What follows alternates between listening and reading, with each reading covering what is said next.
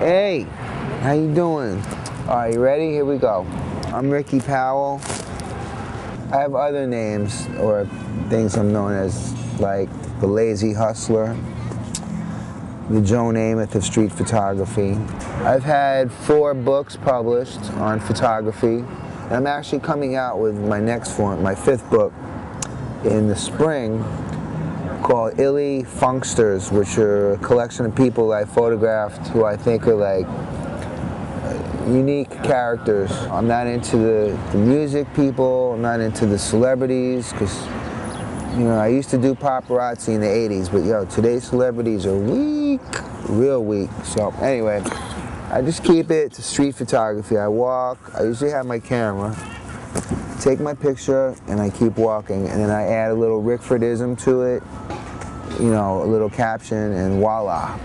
Chilling in Washington Square Park, where I grew up, Listen, I know I seem mellow right now, but if you ask some people, they'll say he's a monster.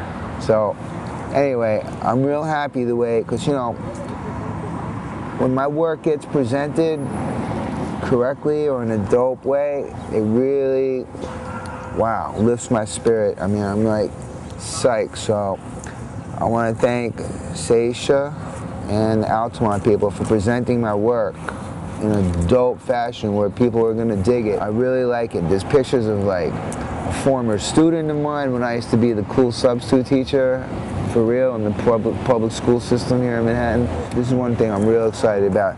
They made like those tote bags that they make for like Channel 13 members. You know what I'm saying? Like the tote bag. You know, it's you know very intellectual looking. Makes me look good. It's gonna be a hot monkey. That's a good thing. Anyway, come and join me in my renaissance and let's all flourish together.